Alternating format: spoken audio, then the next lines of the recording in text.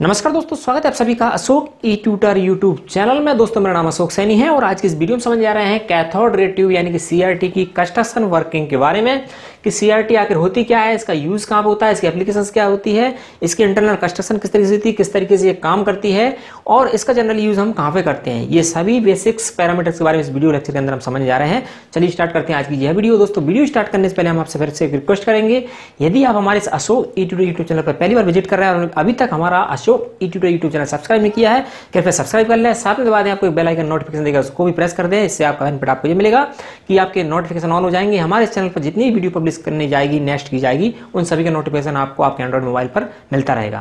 तो चलिए स्टार्ट करते हैं आज की यह वीडियो जिसमें हम समझ जा रहे हैं कैथोड रे ट्यूब सीआरटी दोस्तों कैथोड रे ट्यूब समझ इसलिए समझ आ रहा है कि इससे पहले हम समझ हम आपको एक वीडियो बनाने जा रहे थे सीआरओ के बारे में कैथोड रे ऑसिलोस्कोप लेकिन कैथोड रे ऑसिलोस्कोप रहता है, उसमें यूज़ किया था जनरली सीआरटी का। सीआरटी का यूज़ किया जाता है अब देखिए सीआरटी को समझना उचित है, इसके सीआरटी को समझने के बाद हमको सीआरओ समझने में आसानी रहेगी इसके बाद हम सीआरओ समझेंगे। तो पहले समझेंगे सीआरटी के बारे में। तो ये आप यहाँ पे देखें डायग्राम जो बनाया है मैंने, ये सब पूरा डायग्राम जो है वो है सी का कैथोड रे ट्यूब का। आज के समय में तो एलईडी यानी एलसीडी हमारी आ गई है, लेकिन इससे पहले जो टेलीविज़न आती थी, हमारी उसमें सीआरटी लगी होती थी। लेकिन इसकी एप्लीकेशन से पहले बात कर लें, अभी कहाँ पे यूज़ होती है एट प्रेजेंट टाइम में तो जनरली सीआरटी जो है आपकी सबसे पहले बात करें आपकी तो सीआरटी जो है आपकी, एक तो रहेगी आपका सीआरओ सीआरओ मतलब कैथोड कैथोड रे ऑसिलोस्कोप जिसका यूज़ हम फ्रिक्वेंसी वोल्टेज करंट फेस ये सभी मेज़रमेंट करने में या वेव फॉर्म का पोजीशन देखने में ये सभी मेजर करने में करते हैं तो वहाँ पे सीआरटी का यूज़ होता है। और आपका कंप्यूटर मॉनिटर है, उसमें भी आपका मॉनिटर यानी कि जो पहले आता था, आजकल तो एलईडी एलसीडी मॉनिटर आ रहा है, लेकिन जो पहले उसमें यूज़ करता था प्लस टेलीविज़न में होता था आपका प्लस लेडार सिग्नल का डिस्प्ले कराने के लिए भी सीआरटी का यूज़ होता था। लेकिन अभी होता है सभी जगह, ऐसा कुछ नहीं है एलईडी एलसीडी को छोड़ के। तो वहाँ पर इसका एप्लीकेशन हो गया। अब लेकिन सीआरटी का वर्क कैसे होता है इसमें क्या क्या होते हैं? तो सबसे पहले इसकी बात करेंगे कंस्ट्रक्शन की। कंस्ट्रक्शन कुछ बेसिक मैन पार्ट मैंने यहाँ पे लिखे लेकिन फिर भी यहाँ पे देख लेते हैं इसके दो तीन चार इसके चार मैन पार्ट रहते हैं। आप ये देखें पूरा जो है ब्लैक मैंने बनाया ये पूरा इसका ग्लास इन्वॉल्व है बोलते हैं इसको। आ, ग्लास का आपका ये पूरी ट्यूब रहती है। इसके अंदर क्या क्या रहता है आपका देखें यहाँ पे देखें ये पेंस है। पेंस यानी कि इसको एक्साइटमेंट यानी ये सप्लाई प्रोवाइड करने के लिए यहाँ से पेंस के द्वारा इसको एसी सप्लाई दी जाती है, ये इसका हीटर है। इसके बाद यहाँ पे है ग्रिड है। ग्रिड के बाद सेकंड आपका है प्री एसिलेटिंग एनोड इसके बाद ये फॉक्सिंग एनोड फिर आपका है एसिलेटिंग एनोड ये आ गया। वर्टिकल डिफ्लेक्शन प्लेट ये है और ये दो आपके हैं हॉरिजेंटल डिफ्लेक्शन प्लेट इसके बाद में यहाँ पे देखें आप, ये ट्यूब के अंदर ट्यूब के अंदर ये आपको देखा है, ये है एक्वाडेक कोटिंग कोटिंग, ये कोटिंग है और इसके बाद आपकी ये पूरी आपकी फ्लोसोलोनेट आप इस मतलब स्क्रीन है और ये यहाँ पे स्क्रीन के आगे एक ग्लास की कोटिंग है स्क्रीन है फोस्फोर स्क्रीन को बोलते हैं, ठीक है? ये हो गया। तो इसकी कंस्ट्रक्शन हो गई। तो सबसे पहले जब आप एग्ज़ाम में लिखेंगे तो पहले सीआरटी बारे में लिखेंगे सीआरटी एक ऐसी डिवाइस है या CRT is device which convert electrical signal into आपका क्या होगा? विजुअल सिग्नल यानी कि इलेक्ट्रिकल सिग्नल जो उसको दिया जाता है, उसको विजुअल सिग्नल में ये कन्वर्ट करती है। एक प्रकार ट्रांसड्यूसर भी इसको बोल सकते हैं, जो कि इलेक्ट्रिकल सिग्नल को आपका विजुअल सिग्नल में कन्वर्ट कर रहा है। विजुअल मीन्स हमको जो भी पिक्चर देखेगी, जो भी यहाँ पे वोल्टेज मेज़रमेंट होगा वेब फॉर्म के फॉर्म में फ्रिक्वेंसी होगा फ़ेज़ डिफरेंस प्रोड्यूस होगा, वो सब डिस्प्ले होगा और इनपुट देंगे इलेक्ट्रिक सिग्नल में। तो सीआरटी एज आपकी बोल सकते हैं सिंपली कि ऐसी डिवाइस है जो कि इलेक्ट्रिक सिग्नल को विजुअल सिग्नल में कन्वर्ट करती है, पहली बात। दूसरी, इसको आप लिखेंगे इसकी कंस्ट्रक्शन के बारे में कि तो यहाँ पे लिखेंगे मेन पार्ट ऑफ़ इसके सीआरटी है, इसको चार पार्ट में डिवाइड किया गया तो ये सारे लिखेंगे। इससे फोर पेंस होती है, इसका बेस होता है, उस बेस में फोर पेंस को कनेक्ट किया जाता है, इसके बाद हीटर रहता है। इसके हीटर हीटर जो रहता है हीटर को कैथोड बोला जाता है, फिर ऐसे ग्रिड रहती है अरेंजमेंट इसके बाद इलेक्ट्रॉनिक गन ये असेंबली रहती है इलेक्ट्रॉनिक अंदर आता है pre accelerating anode and focusing anode इन दोनों को इलेक्ट्रिक गन बोलेंगे इलेक्ट्रॉन गन इसके बाद आपका सेकंड रहता है एसिलेटिंग एनोड फिर आपका आपका vertical plates and horizontal deflect plate and आपकी फोस्फोग्रेंस की स्क्रीन होती है। इसके बारे में आपको थोड़ा थोड़ा लिख देना है, ठीक है? अब ये काम कैसे करती है? इसकी वर्किंग प्रोसेस हम देख लेते हैं। ये इस तरह की मैंने लिखे यहाँ पे देखें आप, ये लिखा मैंने कि इलेक्ट्रॉन गन असेंबली होती है डिफ्लेक्शन प्लेट असेंबली होती है फ्लोसरन स्क्रीन होती है ग्लास एनवेलप होता है इसके बाद west through come connection are made to various part ठीक है, ये वेस्ट और पिन का कनेक्शन ये आपकी कंस्ट्रक्शन हो गई। लेकिन वर्किंग कैसे होती है इसमें देखा कि जैसे मान लो कि आपको जैसे यदि हम इसको सीआरओ में यूज़ कर रहे हैं, ठीक है? सीआरओ को फ्रिक्वेंसी का मेज़रमेंट करना है या वोल्टेज का मेज़रमेंट करना है, या करंट का वोल्टेज करना है मेज़रमेंट या वेव फॉर्म चेक करना है या फिर एम्पलीट्यूड हमको चेक करना है, या फ़ेज़ डिफरेंस देखना है तो यहाँ पे इलेक्ट्रिकली इसको क्या हीटर को सिग्नल दिया जाता है। अब इलेक्ट्रिकली सिग्नल देंगे तो हीटर क्या होगा? हाई वोल्टेज सिग्नल को ये यहाँ पे इलेक्ट्रॉन गन जो है इसको बोलेंगे हम पूरा इलेक्ट्रॉनिक गन अरेंजमेंट तो हीटर से क्या होगा? यहाँ पे कि इलेक्ट्रॉन बीम्स प्रोड्यूस होगी। इलेक्ट्रॉन बीम्स प्रोड्यूस होगी। उस जो बीम आएगी, है ना? बीम को ग्रिड क्या करेगी? उसको बीम जो आएगी, उसको फॉरवर्ड वाइज यानी कि इसको क्या करेगी? फोकस करेगी और पास करेगी हाई स्पीड से। तो यहाँ पे इस एरो के थ्रू दिखाया गया है। एक सीधी डायरेक्शन में ये ग्रिड क्या उसको एम्पलीफाई करेगी और पास करेगी एम्पलीफाई करके, ठीक है? अब प्री एसिलेटिंग एनोड क्या है? उसको और स्पीड देने के लिए एसिलेट करेंगे इस प्री एसिलेटिंग एनोड के द्वारा। अब जो रेज निकल रही है बीम की, वो यदि आपकी इधर उधर लेफ़्ट राइट जा रही है या कहीं भी, एक प्री डिफाइंड डायरेक्शन में देने के लिए यूज़ करते हैं आपकी फोक्सिंग एनोड अब फोक्सिंग एनोड क्या करेगी?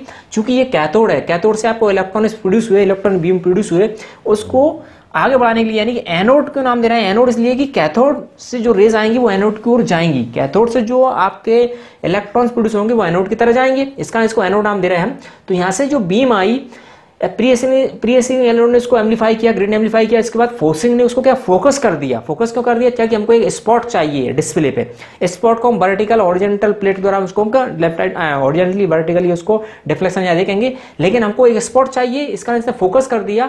फोकस करने के बाद फिर आप वापस उसको एसिलेटिंग एनोड से वापस उसको एसिलेट करेंगे। ठीक है? एसिलेट किया, ये आ गया। अब मेन काम आता है आपका यहाँ पे vertical deflection plate and horizontal deflection plate तो जो वेब फॉर्म बनती है आपकी सीआरओ में। वो horizontal vertical horizontal and vertical आपकी टाइप बनती है वेब फॉर्म जो बनेगी वो। ये आपका ऐसा सी रहता है आपका, उसमें डिस्प्ले आएगा। तो हॉरिजेंटली भी आपको मूव कराना वर्टिकल भी सॉरी हॉरिजेंटल भी आपको मूव कराना वर्टिकल भी आपको वेव्स को रिप्रेजेंट कराना है। तो वहाँ पे यूज़ करते हैं vertical deflection plate and horizontal deflection plate ठीक है? और यहाँ से उस जितना हमको एम्पलीफाई करना है, जितना एम्पलीट्यूड हमको चाहिए, उसको हम, इसका गेन बढ़ाते जाते हैं। इसमें जो सीआर रहता है, उसमें तो वर्टिकली एंड हॉरिजेंटली आपका गेन बढ़ेगा तो आपका यहाँ पे स्पॉट के फॉर्म में यहाँ पे आपको डिस्प्ले हो जाएगा। अब दूसरी बात करें, इसमें ये एक्वर्ड है कोडिंग यूज़ को करते हैं। इसका यूज़ इसलिए करते हैं यदि मान लो कोई बीम आपकी रिफ्लेक्ट होकर या निकल कर यदि किसी जो इन्वॉल्व है ग्लास एनवॉल्व यानी कि सीआरटी के, इसके जो है आपके वॉल है, इस पर भी यदि आएगी तो ये क्या कर देगी, वापस उसको रिफ्लेक्ट करके फोक्सिंग के लिए भेज देता है।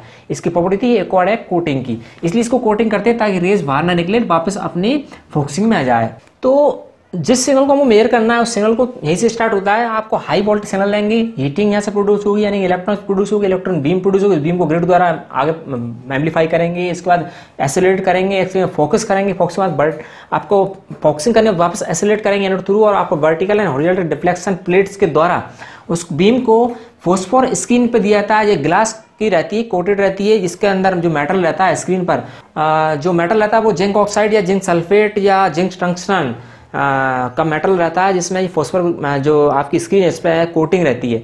उस, वो ये कोटिंग और या मेटल जो डिपेंड करता है आपको किस कलर की आपको वेबफॉर्म चाहिए डिस्प्ले चाहिए।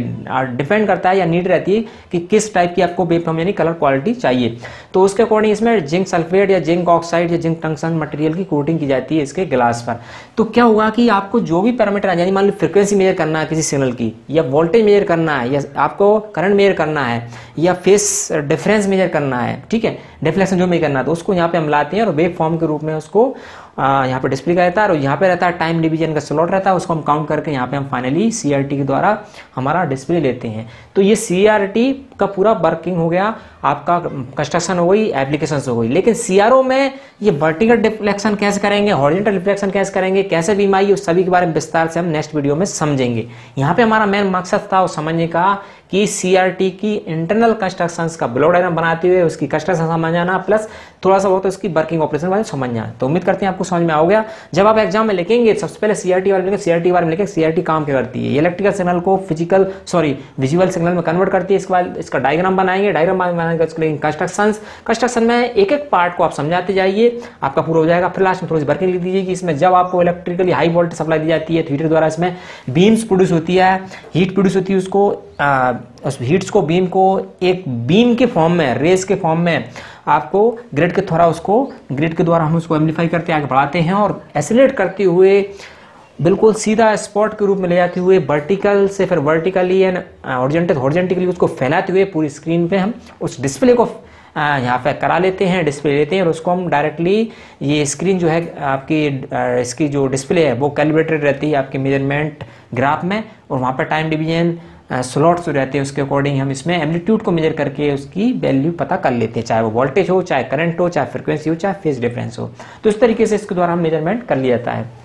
तो ये रहती है सीआरटी ठीक है, जो कि जनरली खास तौर से सीआरओ के रूप में जनरली अभी भी यूज़ होती है। सीआरओ कैथोड रे ऑसिलोस्कोप जिसको हम समझने जा रहे हैं नेक्स्ट वीडियो में। तो उम्मीद करते हैं ये वीडियो आपको समझ में आई हुई सीआरटी की। यदि समझ में आए वीडियो को लाइक करें शेयर करें, और आप चाहते हैं कि नेक्स्ट वीडियो भी आपको मिलती रहे तो सब्सक्राइब करें हमारे यूट्यूब यूट्यूब चैनल को, साथ बेल आइकन का इसका बेनिफिट आपको हम बता दिया कि जब भी हम नई वीडियो पब्लिश करेंगे, उसका नोटिफिकेशन आपको मिल जाएगा। वीडियो यहीं स्टॉप करेंगे। वीडियो पसंद आए, अच्छी लगे वीडियो को लाइक करें शेयर करें, अपने दोस्तों साथ शेयर करें, ताकि उनको भी एक प्रकार की स्टडी एजुकेशन से रिलेटेड हेल्प मिल सके।